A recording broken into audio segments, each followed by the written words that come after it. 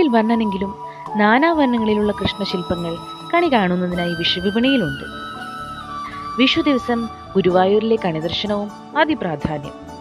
കൃഷ്ണശില്പങ്ങൾ കൂടാതെ കൃഷ്ണന്റെ ചിത്രങ്ങളും കണിയൊരുക്കുന്നതിനായി ഉപയോഗിക്കും.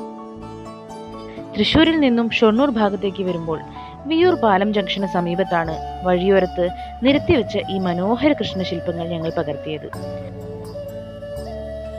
വിഷു എത്തും വരെ ഇവരുണ്ടാകും ഇവിടെ. പലരെയും പ്രതീക്ഷിച്ചു. അതെ ആഘോഷങ്ങളും ആചാരങ്ങളും എത്രയോ കുടുംബങ്ങളുടെ ജീവിതമാർഗം കൂടിയാണ്.